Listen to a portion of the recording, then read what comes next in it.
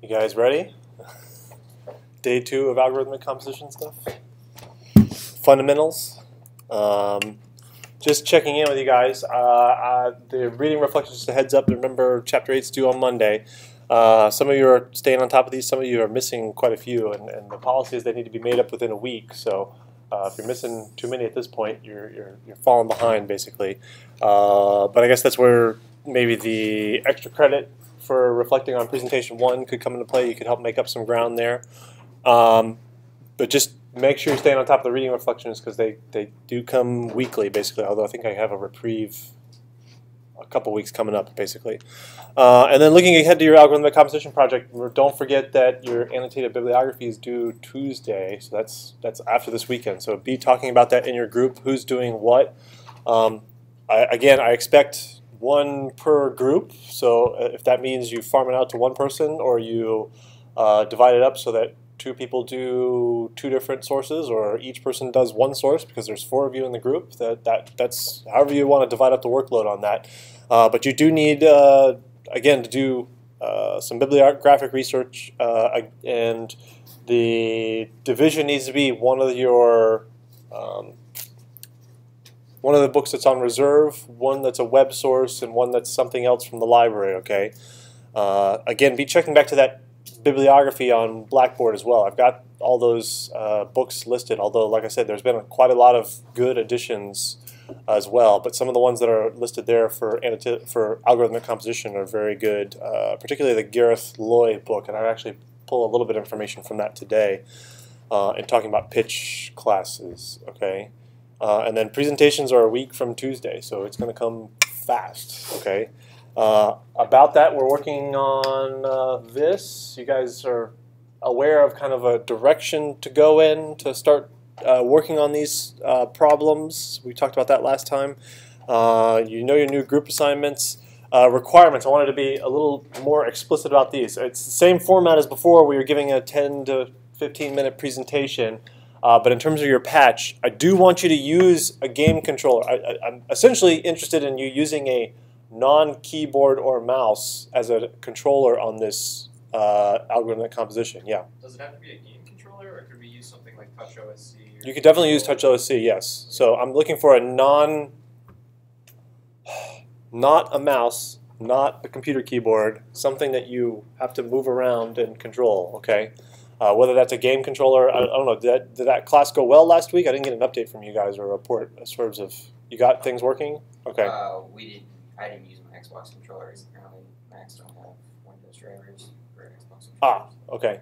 But you were able to get some game controllers in here and get them yeah. talking and see the data come out inside of Max. Okay. Um, uh, maybe not game controller, but maybe we'll, we'll put this in terms of like alternate controller. Does everybody know what I mean by that, basically? Again, non-standard computer controller. Okay? uh, there's uh, multiple ways we could express this, but ultimately it means not a mouse, not a keyboard, uh, something that you have to input gestural information for.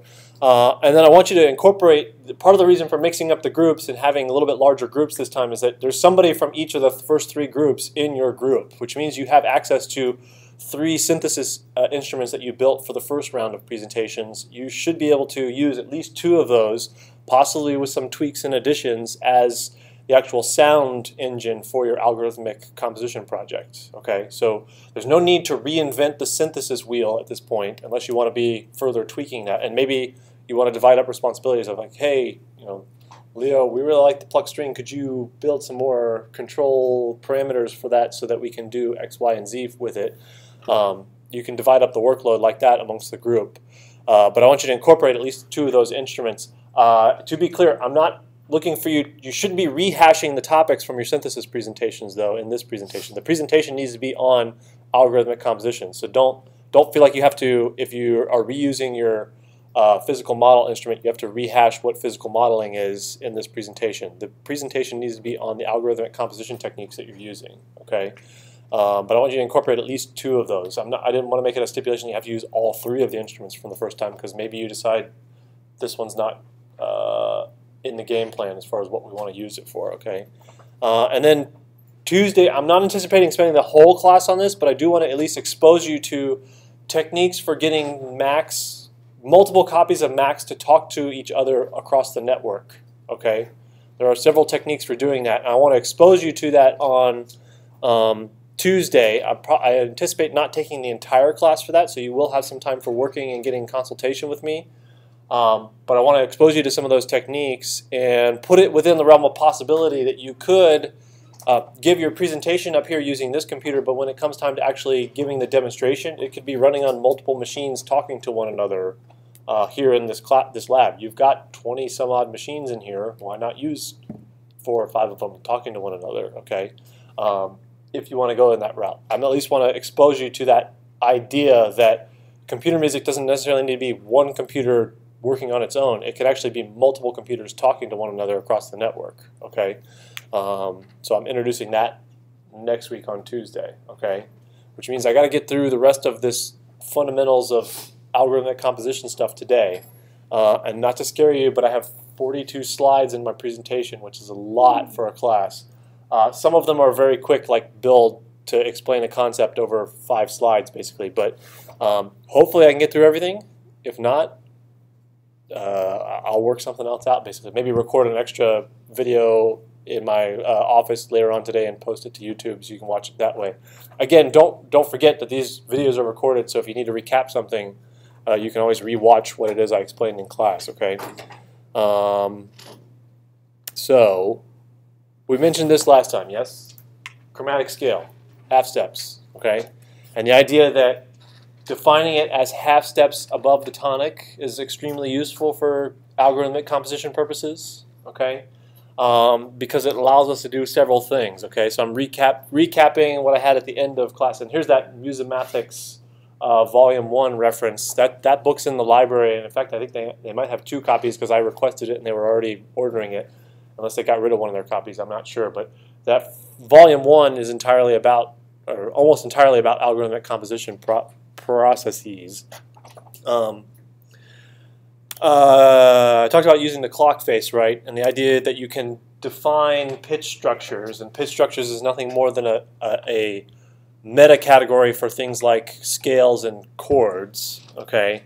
Uh, using this clock face notation, it's very easy to pick out the steps in the scale, the steps or the structure of the uh, chord, whether it be a tri triad or uh, a four-pitch chord, etc. Okay, um, you can then unwind that into a set. Okay, not to scare you, but we're, we're actually dealing with some set theory here, basically, to put it in mathematical terms if you've taken advanced mathematics courses, okay? Um, so the, the, the set of a diatonic scale, of a major scale, is this 0, 2, 4, 5, 7, 9, 11. It's defining the half steps above the tonic, okay? And you can then ask for the second scale degree, know that it's four half steps above the tonic, simply add back in your tonic and get the right pitch for it on the output side for your synthesis engine, okay? Uh, the nice thing about this structure is that you can then also ask for different scale degrees. In this case, the fourth one, you know that it's seven half steps above the tonic and you get the right pitch out, okay? This also allows you to change the scale out, which in this case I'm exchanging major for minor. No, because I lowered the fifth as well. The, uh, so I'm not sure exactly what you scale I'm doing.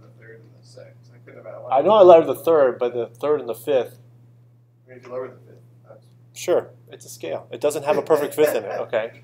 Uh, you can and you can delete entries in this as well. There's no reason it has to be a seven note uh, scale. It can be a three note or three pitch chord or a four pitch chord, okay?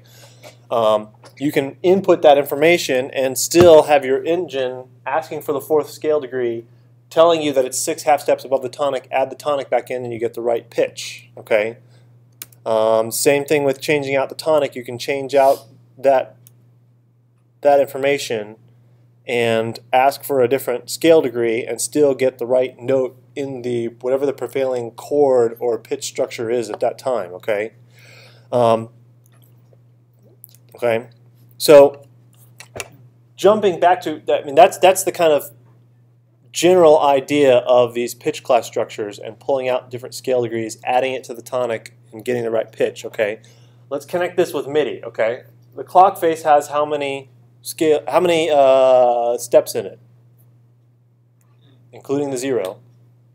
12, right? Okay, so there's 12 steps because there's 12 pitches in a Western chromatic scale, right? Uh, if we're looking at the, the musical keyboard from C to the next C, there's 12 notes, okay?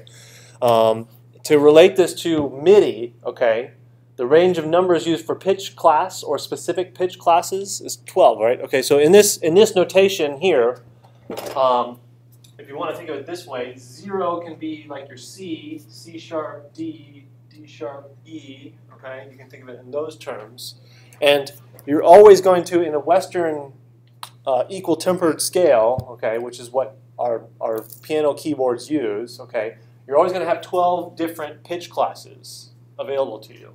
Okay, or zero through 11. Okay.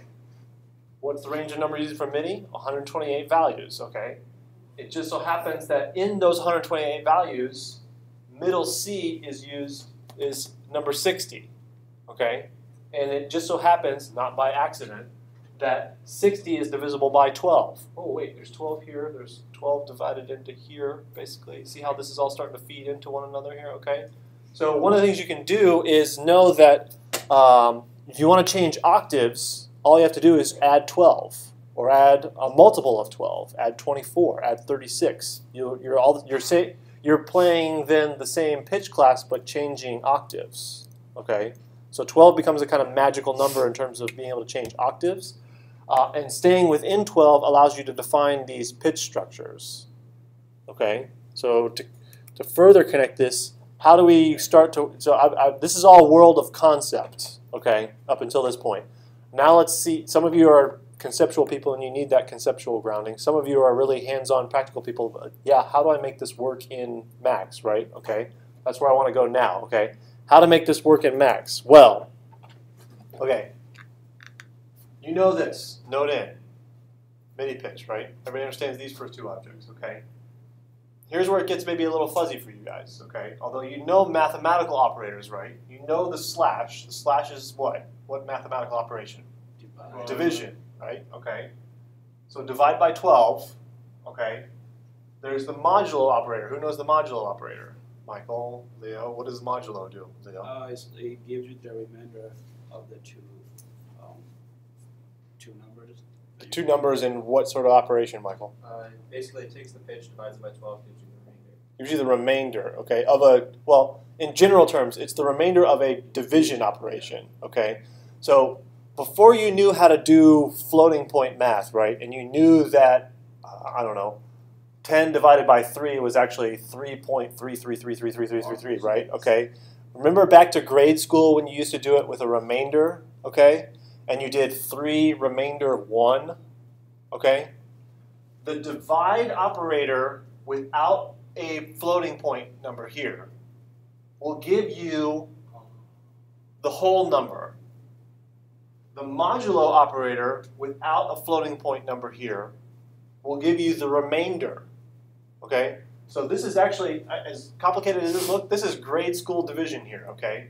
If you do if you were to throw these two operations at 10 divided by 3, okay, you're going to get 3 remainder 1. Okay? Where this is useful for MIDI pitch and we're dealing with these pitch classes is that you can use it to get what octave am I in?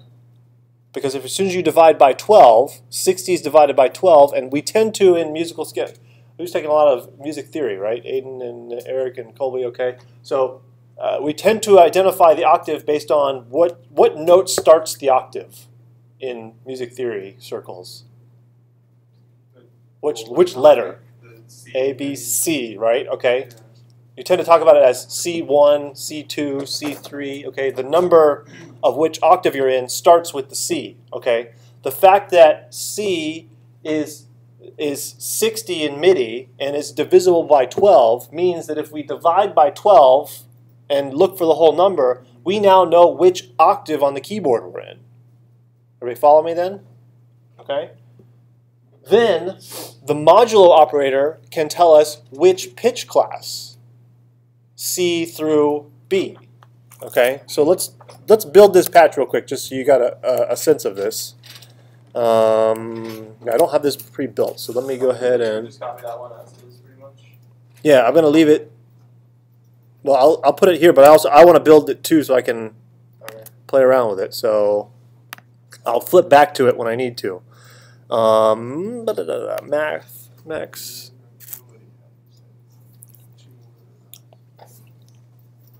Okay, so I don't have a MIDI keyboard connected, so I'll.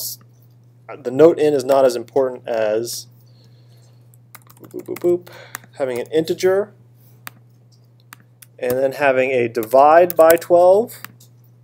And it's important that this stays an integer here, the 12, not a 12 point, because then you'll start to get floating point math. So there, I mean, there is a method to leaving things in integers. Uh, new. I was gonna say if we just Modulo if 12. was a flow number or something, we would just be able to, you know, it would be able to recognize whether half sharp or flat. I guess, and it would be.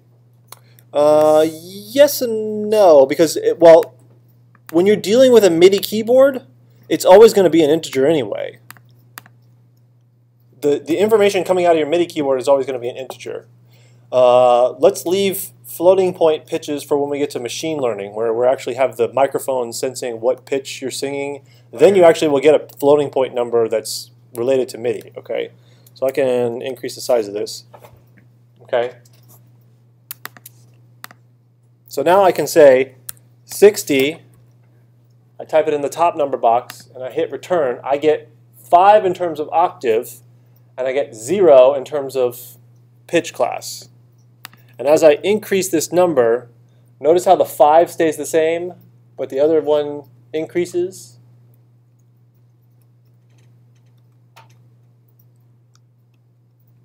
Okay? So this is telling me what pitch class I am. Okay, 0 through 11. Okay? For some of you, that might be too abstract to think 0 through 11 and connect 0 with C and 2 with D and uh, 4 with E. Okay? That might be a little too abstract for you guys. The integer box, maybe unbeknownst to you, has the ability to change what type of information is being displayed. Okay? So if you click on your number box down here, and I think it's, uh, uh, no, I is not going to work. Let's open the sidebar then. Go to the sidebar and click on Inspector. Oh, I have to, oh, I have to un, that's what I have to do. So I had to unlock it. I had to highlight this number box here.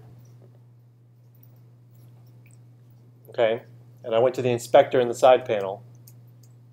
Right here, You'll notice there's an option to display as decimal or hex or Roland octal, which hex and Roland octal don't get used too much, but MIDI does. And notice what happens when you switch it to MIDI. Oh. Yeah. Now it's it's also trying to display octave information as well, but the fact that we're staying within zero to to eleven means that we're in a really low octave, basically. But the thing I wanted to point out here is that the number box has different modes in terms of display format, and one of those modes is um, actually displaying the note letter names. If, so if you're someone that thinks better with the note letter names because you've got them ingrained in your brain from years of music theory training, okay, you can actually ch- change max to reflect your thinking, okay? Okay? So I just wanted to point that out there. Okay? What is a minus one is Uh, that one? It's- F one. F- F in the octave range of, Yeah, of, of C one.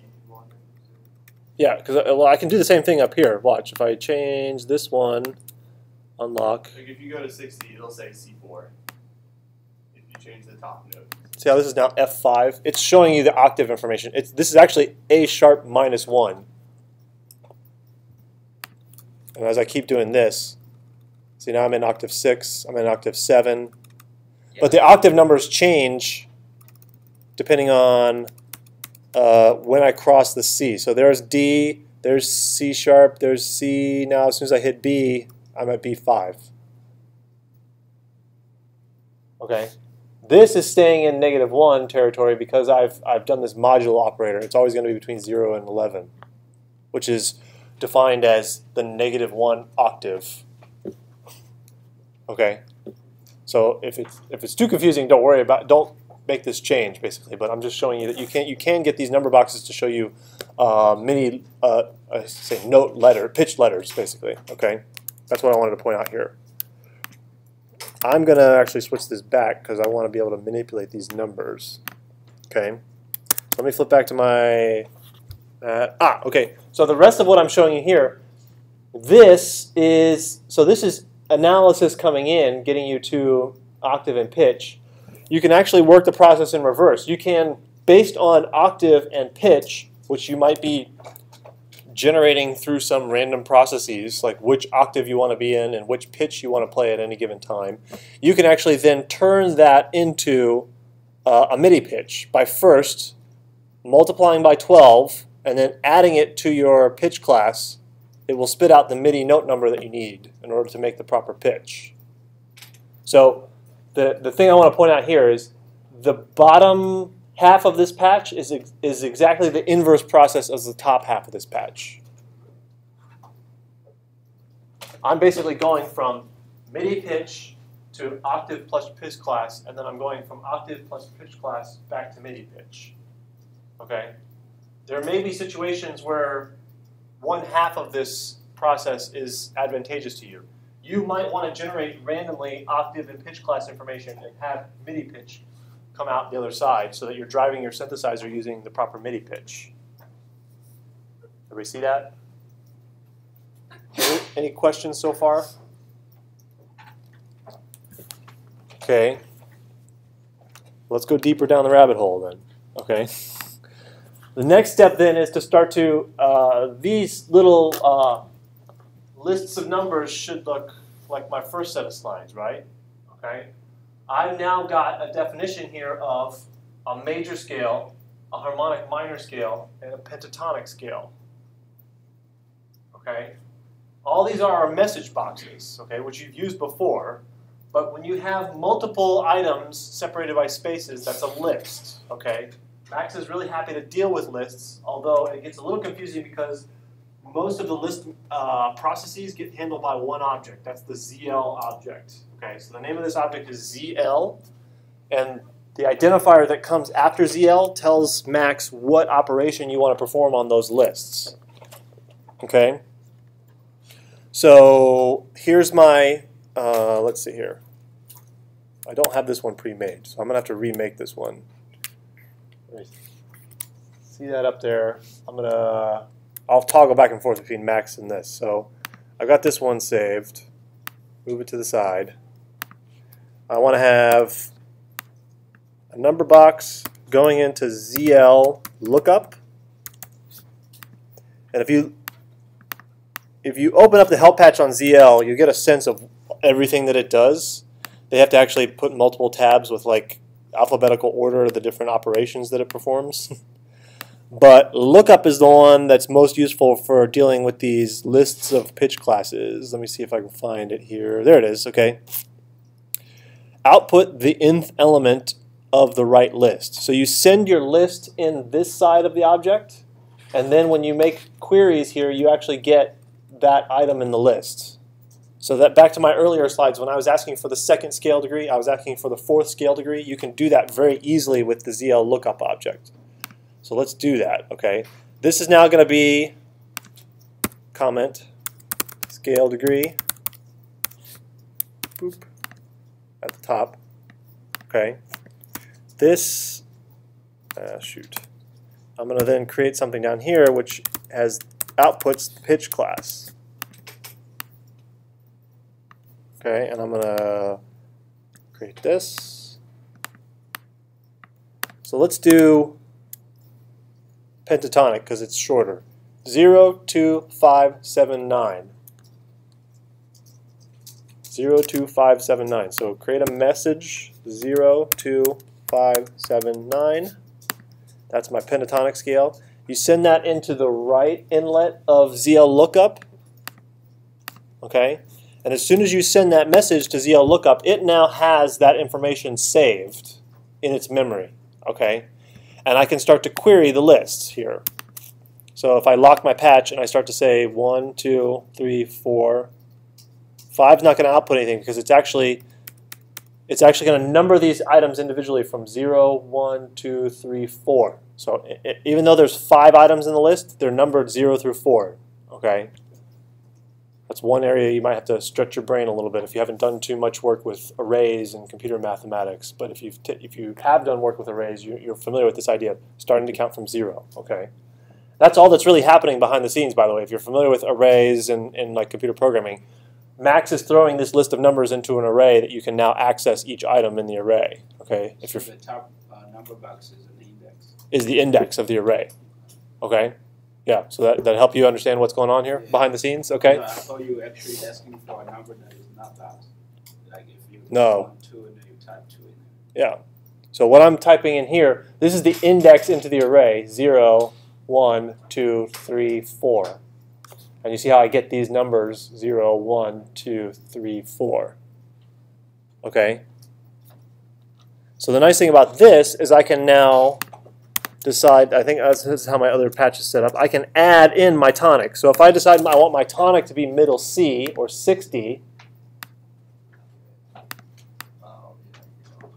okay, this is me adding in my tonic. Okay.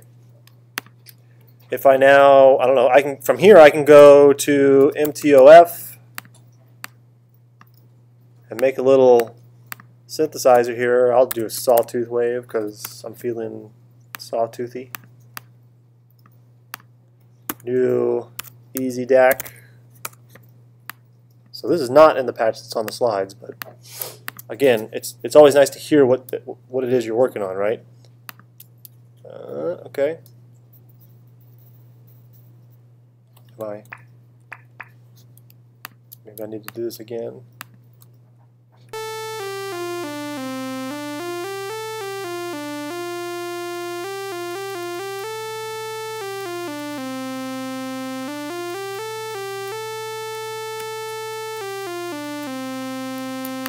Okay.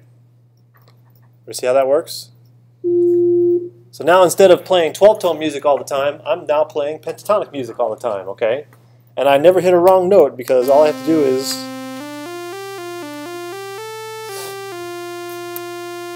I mean theoretically.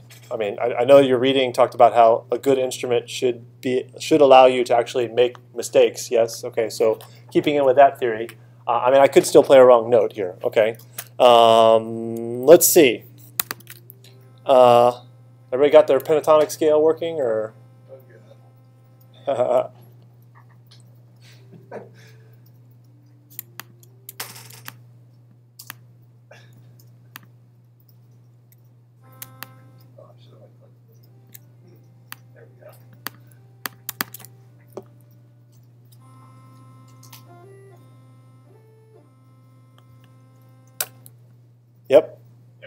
Okay. So- The other thing that I put, so that's, we've got a pentatonic scale working here, and I, I can use the scale degree as opposed to the pitch class, so to make sure that I'm hitting uh, specific pitch structures, okay? Um, if I turn this back on, if I decide that I don't want C to be my tonic anymore, I want, I'll, I'll go down a half step, or a whole step. Now 58. So now my pentatonic scale is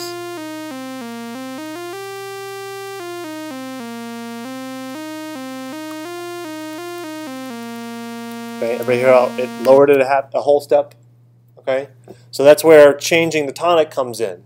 Okay, uh, now I know some of you are thinking, uh, okay, well now I, I have to stay within an octave, right? Okay, but I could easily have one that's operating in a lower, one engine over here that's operating in a lower octave, maybe my bass synthesizer. I could have another one over here that's my melody generator op operating in an upper octave. I could be changing octaves because if I uh, combine this reverse mathematics over here, I could be talking about this synthesizer moves between octaves, okay? Um, there's al- also ways to get this scale degree so that if you go beyond the, the array, right, you can fold back around and get the item in the array again, okay? Um, I, I don't I don't want to get into that. That'll probably be more implementation imp, implementation specific to what you guys are working on, okay? Whether whether we want to add octave jumping, that sort of thing. Um, but to, I, I showed you changing the tonic. Let's experiment with changing the scale. Okay, so I don't know. Let's see. Do You want to do a major scale or a minor scale or harmonic minor? 0, 2, 3, 5, 7, 8, 11. 0, 2, 3, uh, 3, 5, forgot already. seven, 5, 7, 8. 5, 7, 8, 11. Okay. As soon as I put this in here,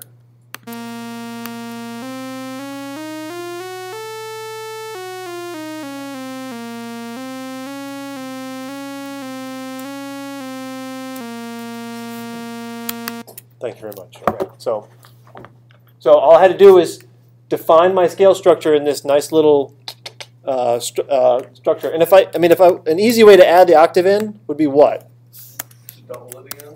Right. I can just do this, and then lock it.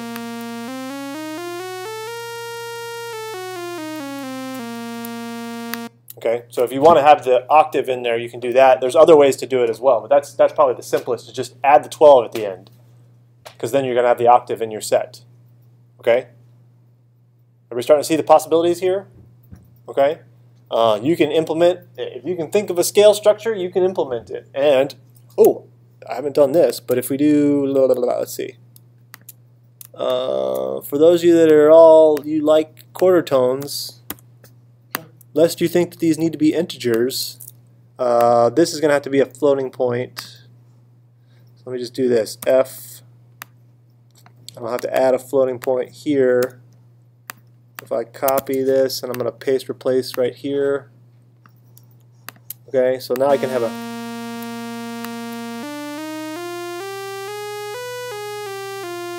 Oh, it's cutting it off. Can I not send it again? There it is. Okay, so if you like quarter tones, there's an app for that. Okay, so, um, all right, so that's lookup tables. Pitch. Everybody understands that basic patch? Uh, there's an alternate way to use uh, list funnel and funbuff. Funbuff is what I, I grew up using uh, back in my younger Max days, basically. But ZL lookup's probably the easiest way to do it at this point. So uh, if you see a patch that somebody else has created with funbuff, they're they're just using the same method. Okay. Uh, so connect this with my uh, pseudo-random number generators in Max. What might you do with those random earn drunk things? Well, you might make them specific to octaves or to certain scales. Yeah. Just so that we're not, if we're grading music, it's not just like random as it actually might be within a set of parameters that are acceptable in music culture, I guess. Yeah. Once you define this lookup table of pitches, okay, it's very easy to then randomly pick out a scale degree and create a melody that way. Okay. Um, it's also possible that maybe drunk would be a good way to handle octave jumping, right?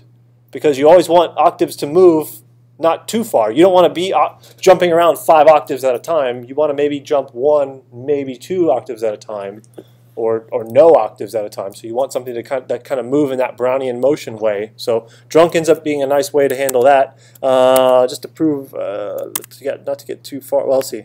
I think I have this on my slide. Yeah. Yeah, I have a slide for that. I should actually follow my slides.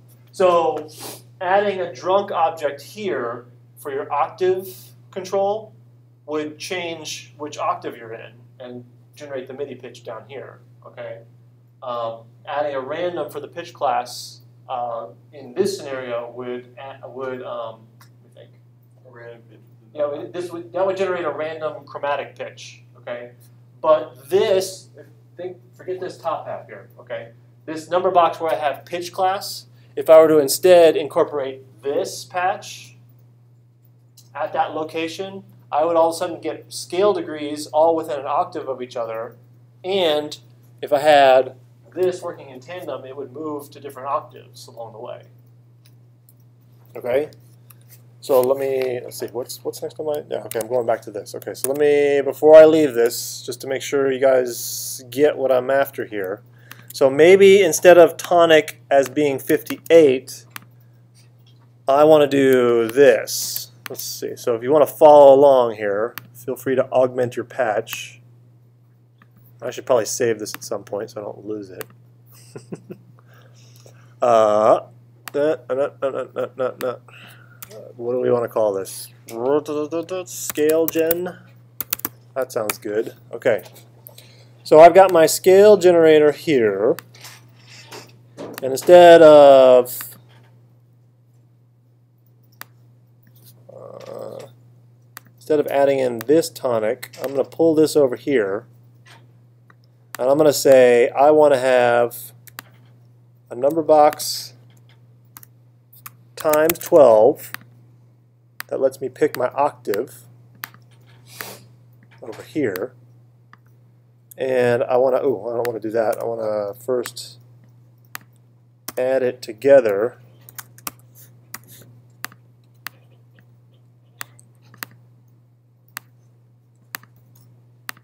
So this is now the pitch class of my tonic. I'll do this here.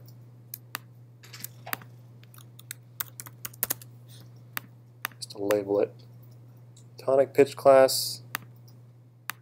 Yep. This is tonic octave over here. Mm, Get out of my way. In fact, I'm going to just that uh, throw this down here. plus zero have to be a float? Like because we're just multiplying. it No, it doesn't actually. I'll go ahead and remove that. But I just wanted, I was trying to make the point uh, a minute ago that we've got, we could make it half. yeah, this is, and then down here, this is tonic MIDI note, or MIDI I should, pitch to be explicit. Eh, if I could just spell pitch, awesome. There we go. Okay, now, here's where the fun begins, right? Drunk. Uh, let's give it a range of six, and let's constrain it so that it moves no more than two. Boom. I'm going to do this very fast, so um, so that's going to change my octave. I don't want to change this too much. I want to change this more often, and I want to know that I'm within the boundaries of my scale. So here's random 8. Okay? And I'm going to connect, if you remember my metro object, I'll make it a little faster. 300. it's Regulate the rate at which it's changing in between the different octaves and stuff. Yep. Turn it on. I'm trying to fit it all on the screen with these nice big items. But this should.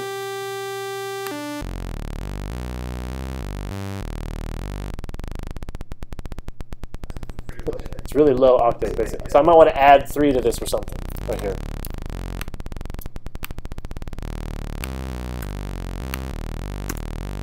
Me do this. So I'm not zero to six, but I'll be three to nine.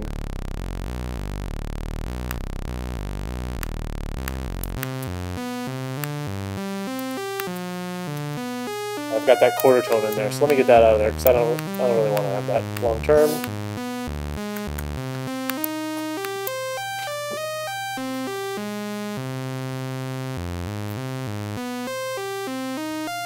Now I'm, I'm randomly improvising harmonic minor melodies. What now? And now it's changing. It's changing octaves literally every beat, right? Maybe I don't want to do that. Maybe go back to what we did on Tuesday. If we're counting beats, maybe only every fourth beat we want to think about changing octaves, right? So remember the counter and the select and making that connection there, okay? You could easily do that as well.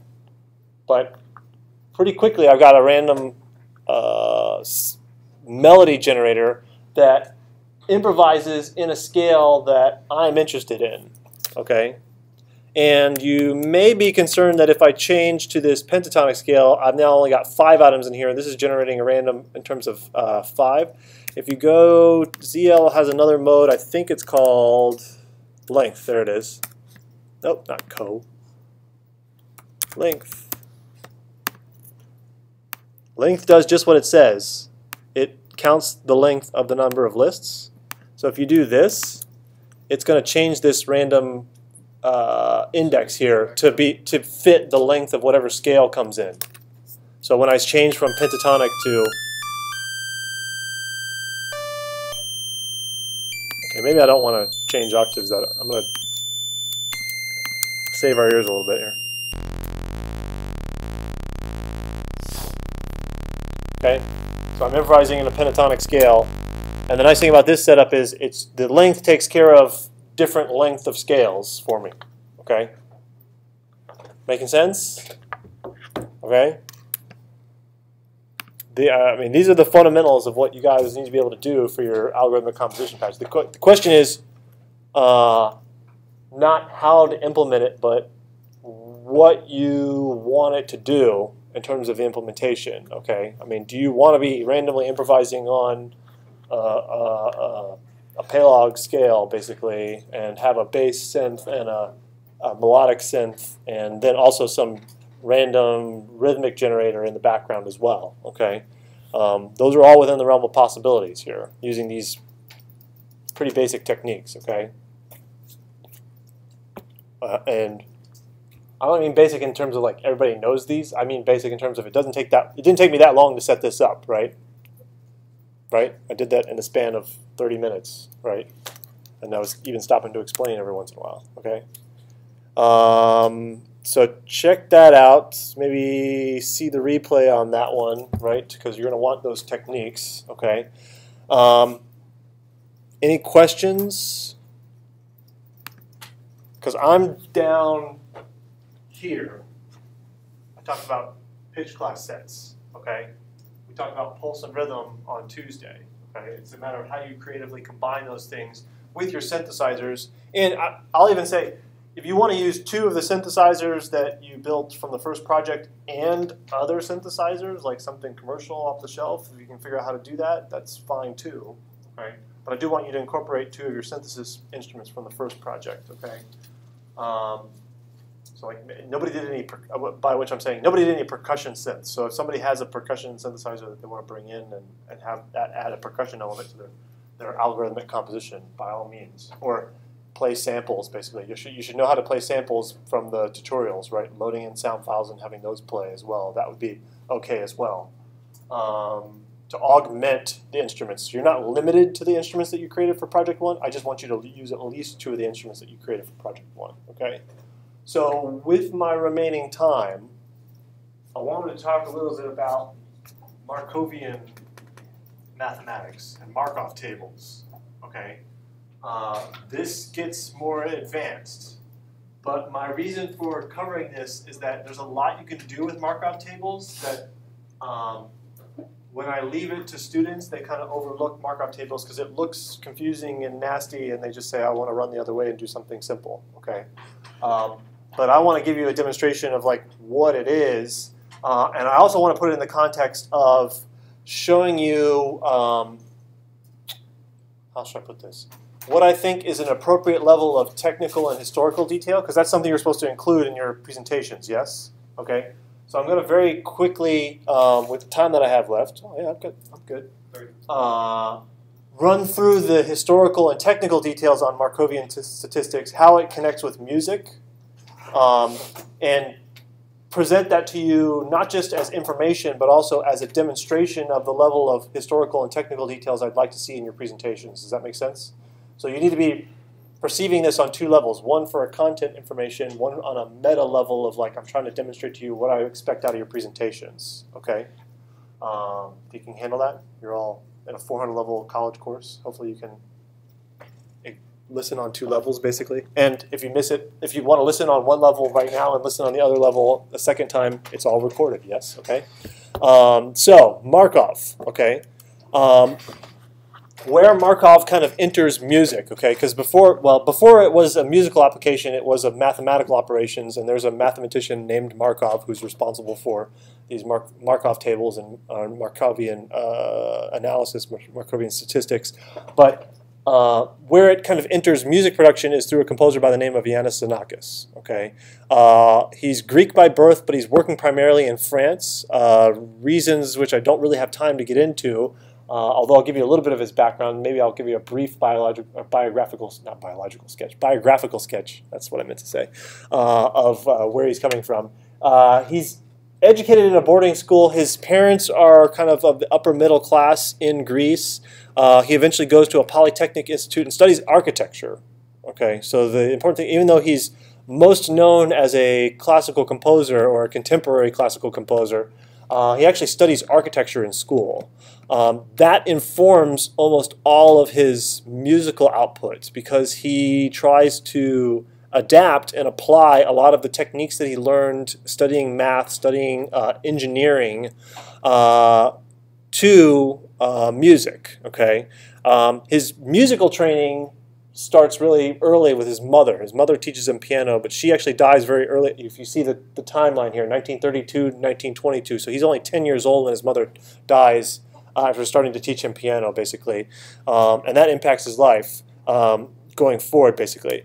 Um, he eventually flees to France, and I use that word intentionally, uh, during World War II. So looking at the time frame here, 22, World War II happens when? 40s. 40s, right? So he's in his 20s when World War II is going on, okay?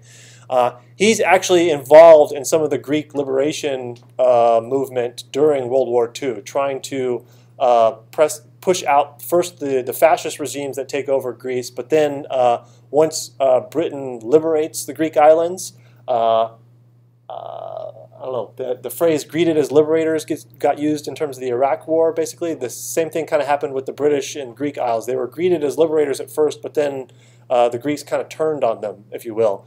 Uh, and Xenakis was actually involved in some of that. He was actually working as a militant in some of these resistance freedom fighter movements. Um, almost dies from a hand grenade explosion uh, which leaves him kind of disfigured. It's part of the reason why when you see pictures of him, they'll, they'll always be illuminated on one side of his face because it's the part of his face that wasn't disfigured from the hand grenade explosion.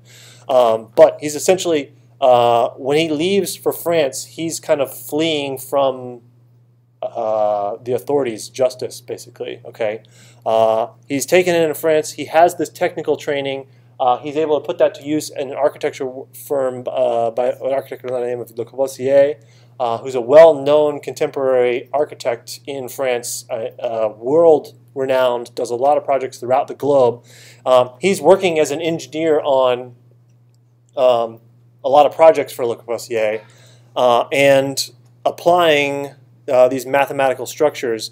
Uh, eventually, he leaves Le Corbusier's firm because he um, how should I put it? Uh, there's a dispute on one of the projects whether it should be credited to Xenakis because he did most of the legwork, or whether it should be uh, credited to Le Corbusier because it was his concept, basically. Um, so he leaves architecture, uh, uh meets his wife, uh, starts to pursue composition lessons, and essentially pursuing a different direction with his life, away from architecture, away from engineering, um, returning to this love of music and applying all this technical knowledge. Um, his composition lessons he's repeatedly turned down, but eventually he finds uh, uh, lessons with Messiaen, which should, is a name that should ring a bell for some of you, right? Uh, as an important 20th century composer. Uh, so one of the things that happens with uh, composers throughout time is this kind of idea of lineage, who studied with whom, that sort of thing. Uh, so the fact that Xenakis studied with Messiaen puts him in kind of a direct lineage with other important composers, basically. Um, and it's Messiaen that encourages him that you have all this technical knowledge, all this advanced mathematic knowledge. Why not apply this to music and see where it leads, basically? Okay, and so that's where a lot of his thinking and his nudging comes from, is applying these advanced engineering mathematical concepts to music. Okay, so his music doesn't sound like you would, uh, like you think of classical music sounding because he's trying to apply a lot of these random processes from his engineering training to and that were used to like stress test structures. He's trying to apply those mathematical formulas to music and see what he comes up with okay?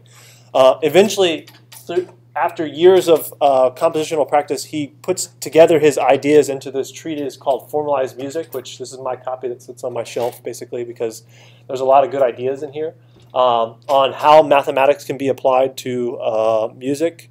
Uh, a lot of these ideas um, express themselves as random processes, get played out in algorithmic composition, but for his purposes, uh, there are a couple different things that, that come out of this. One is the origins of granular synthesis are, show up in this. And if you know me and know my history in terms of my research agenda, granular synthesis is kind of important to me. That's my intersection with Xenakis. Um, and we'll talk about granular synthesis, granular processing when we get to processing in our next unit. But this is also where he outlines Markovian applications to music. Okay, how Markovian math mathematics can be applied to music, and he uses it primarily as a, a concept for uh, applying these Markov tables. Okay, and this looks kind of scary at first, although this is a very simple one. Okay, what a Markov table does is, is it describes transitions.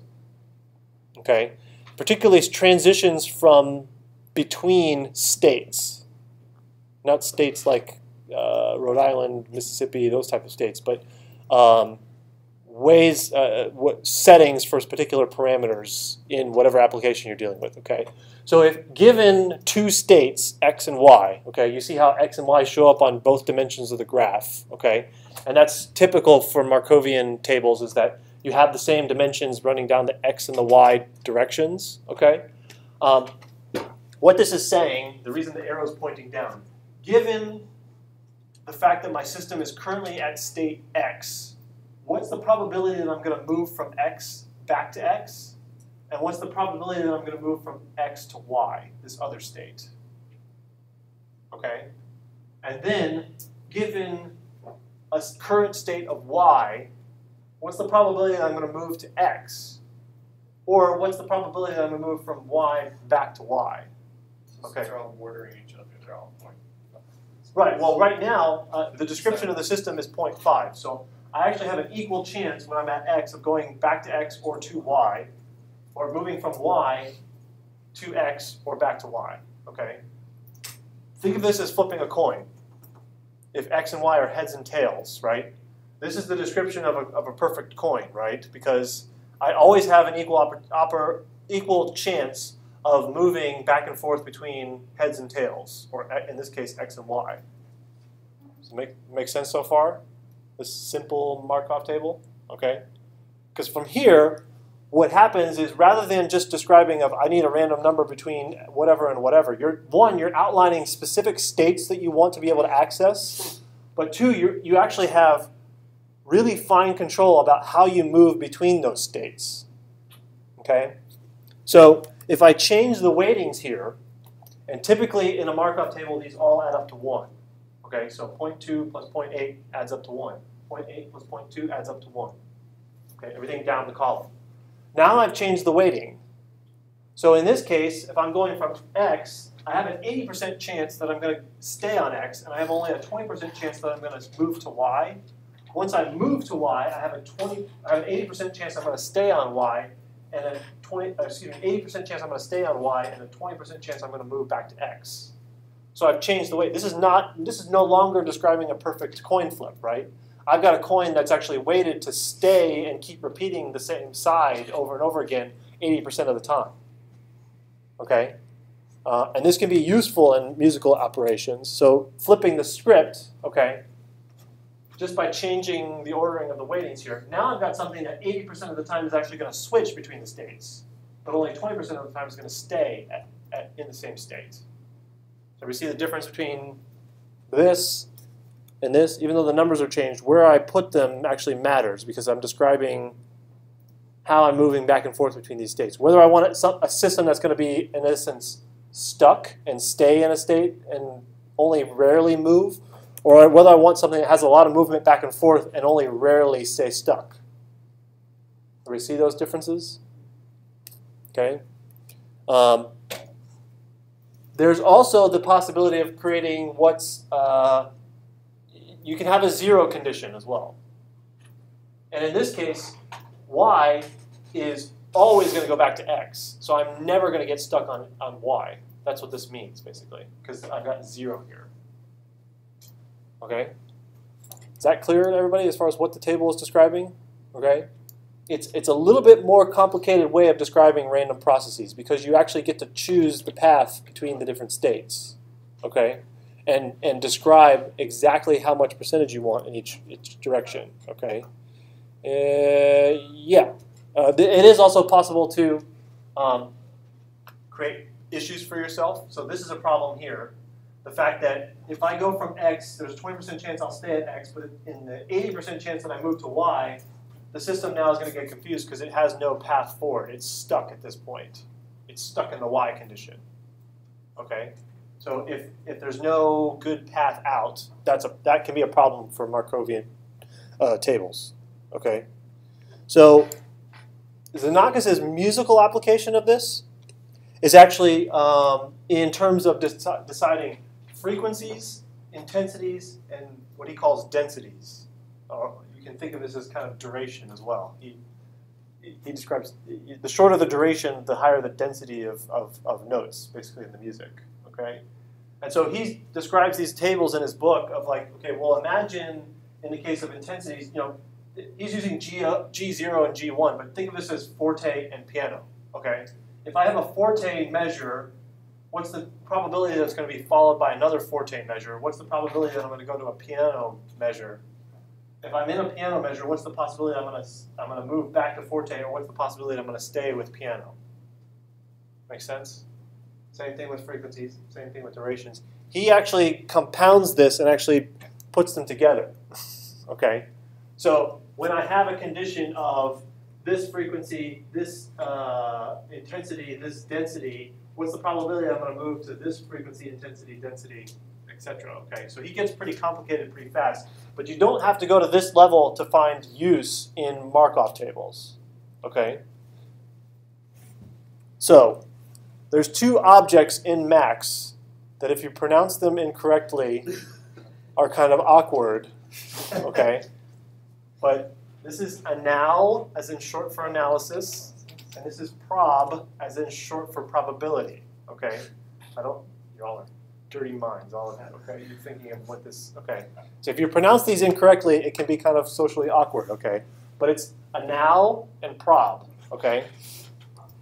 You, none of you are ever going to be able to forget the names of these objects now, right? Okay. Anyway, so they work in. Ta- it, it, it's only compounded by the fact that they work in tandem. But anyway, um, so what prob lets you do is look at an input stream and populate the Markov table beneath the surface. So it keeps track of sta- as states are coming in, and in this case, we can think of it. We could use this easily for MIDI pitches. I can. It keeps track of how many times I'm moving from one to the other. And actually, actually excuse me. I, I, I started talking about the NL object. I want to talk about prob first. Prob actually lets you build these tables. Um, and you do it by this. So let's let me put it here. Okay, um, I have a series of messages that I can send to the prob object. Okay, and the states that I'm describing are one, two, and three. Okay, so I moved away from x and y to one, two, and three. Okay, as soon as I click these this object, it's as if I'm saying the transition, the likelihood of transitioning from one back to one is zero. And so Max puts this in the table behind the scenes. Okay. When I click on the next message, okay, what's the, the, the, the, the weighting from one going to two? I want to put one here. So whatever you make the third number is the probability you want. Is the probability you want. Okay. So the first number is where you are. The second number is where you're going. The third number is your probability. Okay? And it takes a series of messages to build up your Markov table this way. Okay? But if I punch in these, the rest of these um, messages, what I've essentially done is I've built this table here that I've just graphically shown you. Okay? What's inconvenient is Max has no user interface object for this object. Uh, there's no user interface for this uh, graphical user interface, I should say, for this object. Okay, uh, unfortunately, because I think part of the reason why it's underutilized is the fact that there's no graphical user interface for it. Okay, if, if they built a nice widget for it, it might get used more often. Anyway, okay, you may notice that these are not floating point numbers and they're not adding up to one, right? Okay, what Max essentially does behind the scenes is adds up everything in the column and then divides the values in the column by that number. Okay? And if you haven't defined it, it's, it defaults to zero as you build the table. Okay, so you don't have to define a zero transition. It just, if you don't want a zero, you can just define it that way. So, but you do have to have three. You have to have three different places up there. So you couldn't say one and one. You wouldn't have that zero at the end. You need to give it that probability at the end. Yes, here you just need for three. The, just for the sake of s- Yeah. I guess. Like, What I'm saying is, as you build the table, if there's if there's several values where you you know there's going to be zero, you can just leave them blank and not define them. It will define them as zero behind the scenes. Okay. So this is now this is effectively one divided by one. This is one divided by two. One divided by two. This is one divided by one. Okay. So in this case, if I start out at one, one is always going to go to two. Okay. Now I'm at two. Two has a 50-50 chance of either going to one or three. So let's just say 50% of the time it, it's going to go to 3, okay? Now I'm at 3. 3 is always going to go back to 1. So now I'm going to go to 1. I was going to go to 2. Okay, now I got a 50-50 shot. I'll go back to 1. Now I go to 1. Now I go to, see, how, see how you transition through this table? You're defining the order of the states coming out of the system. Yeah, Chris. So is it a problem if you have a, if you have a table that doesn't, uh, quote unquote, repeat itself, you know what I'm saying right here? Like if it goes to one, it goes to two, and then say three, says go back to two, or three, three. you could make it not work if you wanted that's to. Yeah. Like. So- make so it if- not repeat. Yeah. well, Just I'm based saying, off what If it comes. doesn't work, like. No, you it's- have to- It's not a problem if it if it doesn't repeat a state over and over again. Yeah, that's not that's not a problem for the system. It's a matter of what do you want to define. Do you want it to actually repeat a value over and over again, or do you want it to always move from this value to the next value? Okay. And I'm talking about this in the abstract, but this could be pitches, right? If you want C to always go to D in your system, or you want C G to always go to F, you can do that, um, or you can define other values, basically. Okay. So that's that's how the prob object works. Okay, let's talk about the anal object. Okay, what's nice about anal, it looks at a stream of numbers and it actually spits out these messages that prob needs. Okay, so in that first example, I was using one, two, three, but it can eas- very easily have a transition table that's 55 to 50, 53 to 55. Well, that, that's happened five times basically. It actually, it, the anal object actually counts the number of times that 53 has gone to 55 and gives it a weighting of 5. So it's just a counter kind of of prob. It's, it's a counter, Of but it's a counter of the number of times that state A has gone to state B. Or whatever you said. Yeah. Yeah. Whatever you picked. So every time you number- a different node, it's going to show up a different, like, if you went from 53 to 55 and then like 60 to 62, would it change and then back to 53 to 55? Would it reset it or would, does it No, that stays in the table in the prob, prob object as part of memory. Okay. And the next time you hit 53, 55, and report that. It'll increment that to 6. Okay? So the nice thing about these two things in tandem, you can actually take the anal object and play a melody into it. And it will give you the statistical probability of every time this note goes to that note, this note goes to that note, and you get a table which describes. The the transition of that song. Yeah, basically, you can then put that in your prob object and generate a new song with the same statistical probabilities as that first song. See the see the potential here? Okay, this gets used in all sorts of applications. There's people that you know they've analyzed every Bach chorale basically. Okay, and then they generate new Bach chorales using the statistical weightings of all the analysis of all the Bach chorales, basically. Okay, so that's the potential here of where we're going. Okay, so uh, I don't know. So I need to. Uh, well, yeah. So I did this to describe for you, but I guess apparently I have already explained this, right? just. Yeah. Yeah. Oh, this is with an L. Well, this is basically describing a, a, an analysis where if I said I wanted to always play G then A then G then A, basically back and forth, this would be the table that describes it. Okay. Um, if I want to add in a C and an A, yeah. So as I'm playing these on the keyboard, it's adding these entries in it, basically. As soon as, as, soon as I repeat something, let's see, where'd it go? Yeah, it's going to increment by two. So I'm trying to visualize what's going on beneath the surface, but I think I've already kind of explained this process, okay? So hopefully you can visualize what's going on here. Let's see. Uh, okay. Okay, so how to do this in Max? Well, if you want to analyze your pitch and velocity as you play in, okay, you need the strip note object because that does what? Did anybody use strip note or no? In their first prod project? Oh yeah, Yeah. I want to say we did. Yeah, I think you did. Yeah. Strip note actually pulls out the note offs. You don't need to analyze the note offs. You need to analyze the note ons in order to do a pitch and velocity analysis. So remember playing the If you have keyboard. a note off and just not work, it won't produce the next it will it will bias it toward um, repetitions because the note off is going to be the same pitch as the note on and you don't really want that okay so that's the function of putting the strip note in there you just want to know where the notes start and which pitch they are okay but you could easily do an analysis of pitch and velocity as you play something in and then uh, feed that those anal outputs into the prob inputs and then that bang button that I have there on this patch will create new values based on the analysis. Okay? Um, now, this is just the raw pitch and velocity. But if you were to add this into some of the mathematics I was talking about before with modulo, the idea that you could sort by pitch class, and so you know that it's, you, might want to normalize across octaves, right? So it's all the same. If you want to know you want to know that C is going to D, not necessarily that C is going to D in this octave or that octave or that octave, basically. You could so you could do some pitch class mathematics. You could also talk about octave jumping. How often does it stay in the same octave, or how often does it, so this uh, this is a I mean the raw data of pitch and velocity. But if you start to parse out the data a little bit more, you can start to analyze things like pitch class, octave. Um, velocity is a little tricky because there's 127 values, right? it's not necessarily as useful as doing a kind of coarse control of soft, medium, loud.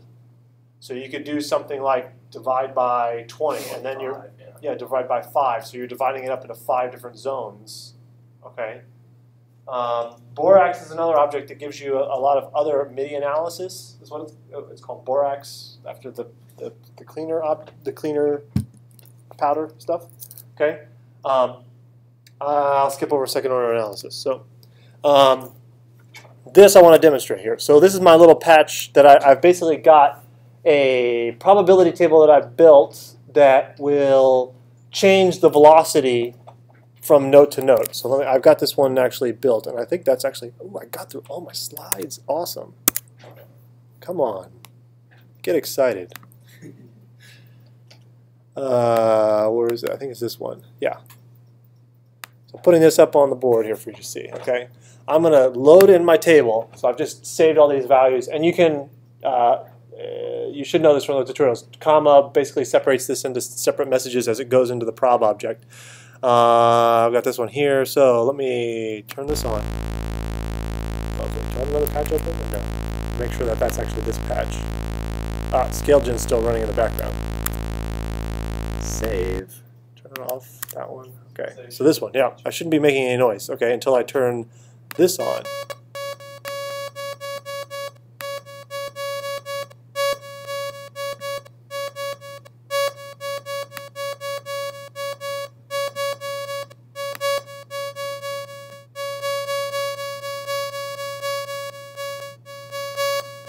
We hear the stressed and unstressed beats kind of that are being created here.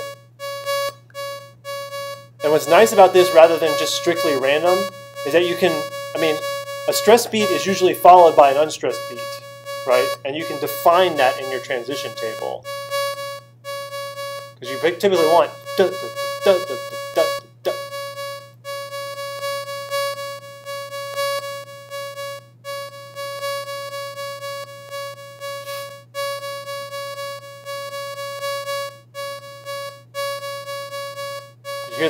That's all being generated by the transition table that I've defined here with these messages.